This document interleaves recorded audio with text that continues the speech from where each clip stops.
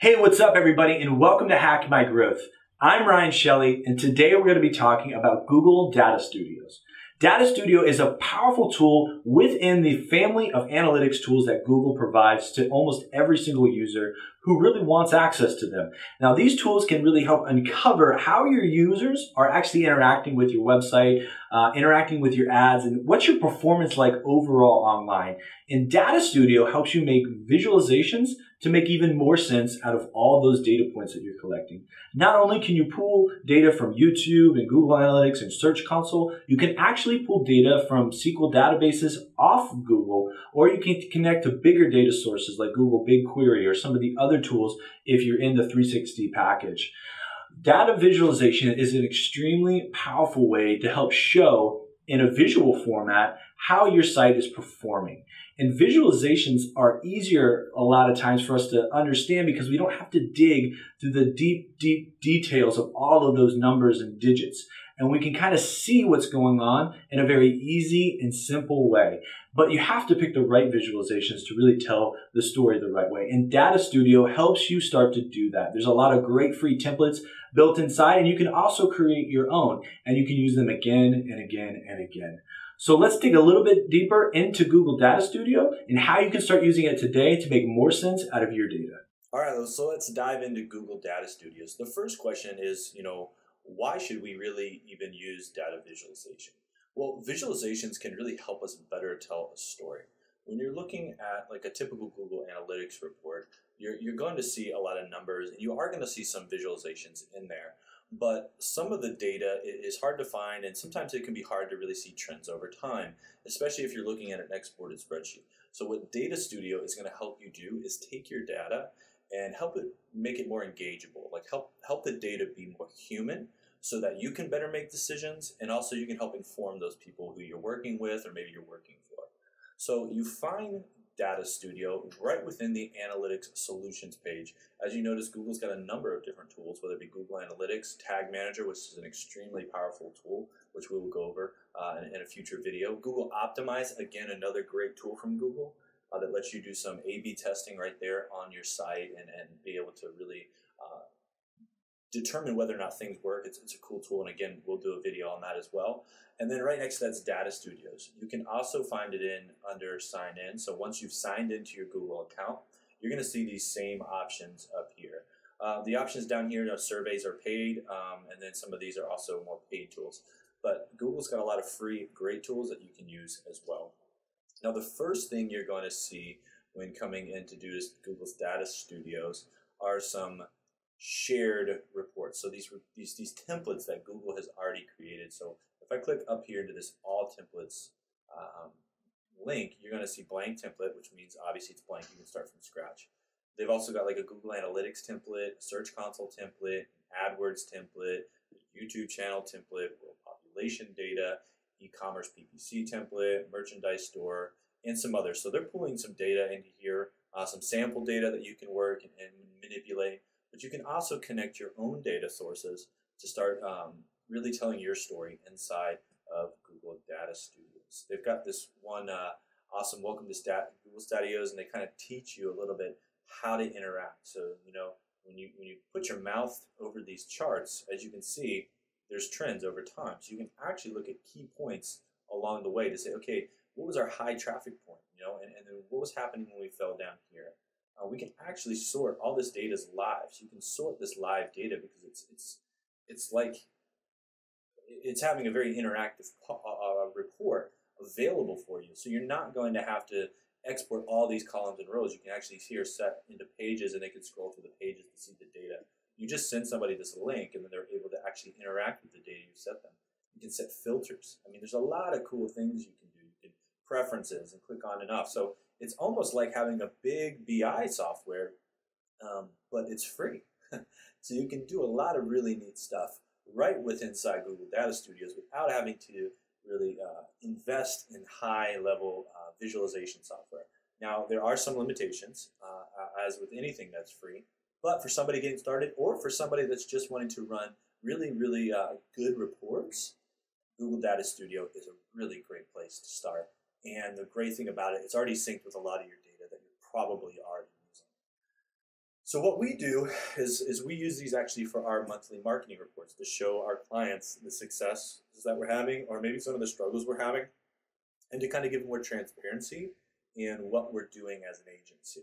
So we create these reports and we actually started with a Google template and then altered it a little bit to meet our specific needs as, as more of a search focused agency and to give our clients data that they're going to be able to use and understand. Because typically what happens is you send somebody a report and they look at it and they go, I have no idea what this means. You know, thanks for sending it to me, but it makes no sense. So our whole goal is how can we use data visualization and reports to tell a better story. And this is where Data Studio has helped a lot. So what we're going to actually do is show you the report we created. Uh, I'm going to show you exactly how we created it. And um, we actually started right here with this Acme marketing template. So when you load this template in, you're going to see that it's got some pre-configured data. Um, users, sessions. This is not my site. This is just the template. So over here it says use the template, and I say, okay, it sounds great. As you can see, it's got a couple of high level um, KPIs, you know, the number of users, the number of sessions, page views, bounce rate. But what I really liked about this template, what made it really, really appealing to me, was these these headers, and they made it very easy. How are your how's your site trending? So it's kind of showing site trend over time. Which channels are actually driving engagement? Um, who are the types of people on your site? Is it male? Is it female? Is it a mixture of both? What the age demographic you're targeting? Tar- targeting?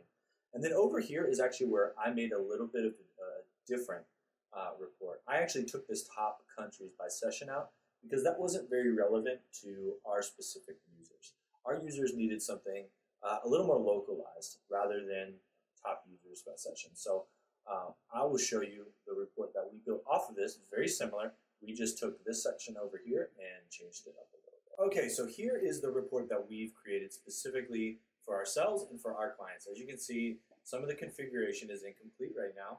Um, and but what we did is we actually added what keywords are driving traffic over time. So we actually pulled in some Search Console data right here instead of just keeping this report static to Google Analytics. That's a great thing that you can do with Google Data Studio is you can actually uh, pull from different sources, multiple sources, and put it on one page. Um, and then, you know, as you can see, we have to configure this report though so that we pull in the right data. Right now, it's only pulling in data from, if we go here to edit, it'll tell us where we're pulling data from. We click the column, sample search column data, search console data. So that's the only data source we have right now. So things like user sessions and bounce rate and trending sessions over time, those aren't going to make sense to, because Google search data doesn't have, console doesn't have those data references. So we're going to actually need to tie a data, data source to it. So what you would do is just simply click on a, a specific column here, and now we've got to attach a data source to it. Now, right now, it's, it's got this kind of default setting. But say I want to change it to show you know my specific site. What you would do is click on the data source, and it says SMA marketing. Right now, you can see it's a Search Console connection, but I want to connect it to my, my Google Analytics account so that I can pull data. You would click on Create New Source here at the bottom. Now, here's the different connectors that we have available inside of Google Data Studio. We've got file upload. We can connect our AdWords account. We can do attribution, which is part of the 360 cloud. Google BigQuery, we can actually connect from a cloud SQL database.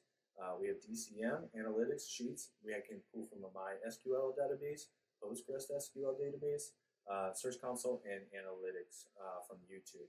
So there's a number of different pretty cool connectors that we can do, you know, especially if you've got your own database set up, uh, whether it be Cloud SQL, MySQL, um, Postgres, like you can pull your sources wherever you have them stored and actually visualize them inside of Data Studio. So for this, I want to actually connect to Google Analytics.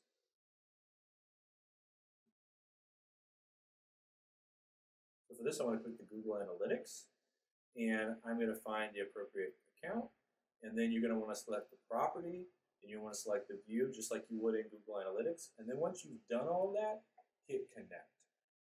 Now this is going to show all the different connections or data points or metrics and dimensions that Google is going to be pulling in. So this is going to tell us the numbers and how we want those numbers constrained in order to give us the, the visualization that we're looking for.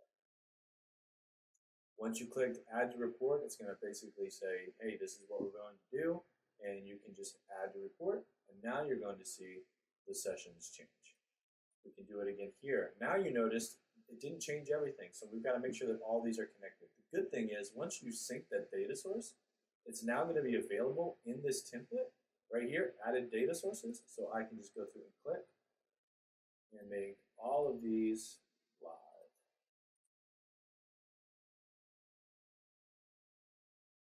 So what we've done, we've connected two different data points. We've connected Google Analytics and Google Search Console to one report. And now we're looking at a span between June 16th up here to June, July 15th, so almost about a month. And we're looking at the, the user history. We're looking where the trending is. Is it up? Is it down? Um, how are these? How's the site page traffic trending over time? Um, what's driving the traffic here? Uh, engagement. What landing pages are performing the best? But oh, let's look at this. We still didn't connect the Search Console data, right? We're still connected to the sample data. Now, what we can do, as you saw before, we actually already had our Search Console set up right here. But since it's not clicked on it, it's still pulling from the sample data. So all we would have to do to change this graph is click on it, and now there it's switched and it's actually put in now the correct terms.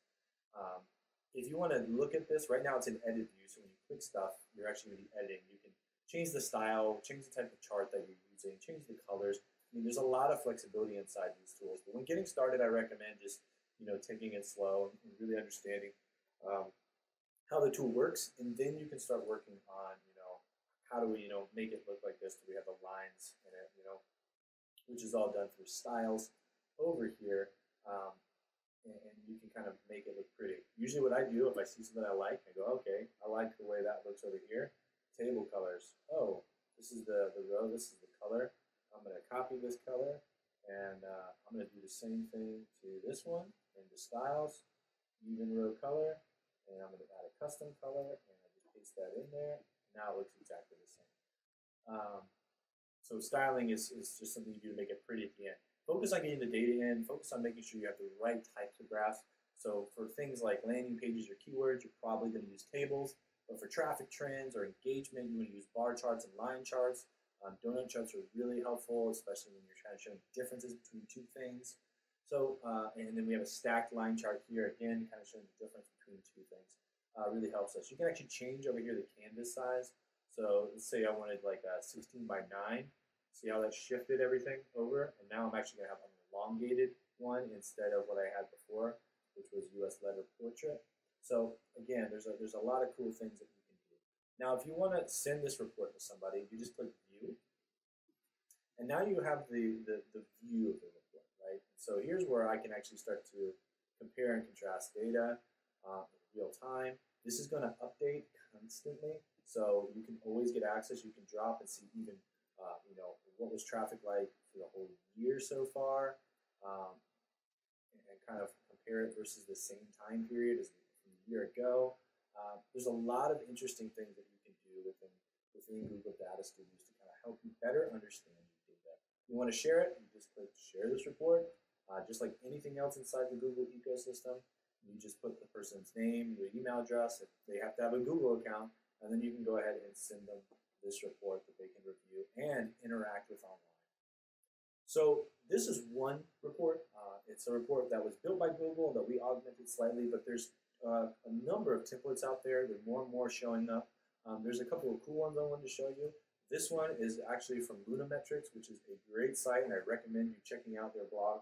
This is an overview of digital marketing data. Again, this is just sample user data in here, and you can change it, but they've actually got a heat map built in to uh, both the, the, conversion rates of the source traffic and the popular page titles to the bounce rate, uh, a nice uh, session and conversion rate tracking, um, the time and locations. There's a lot of cool data.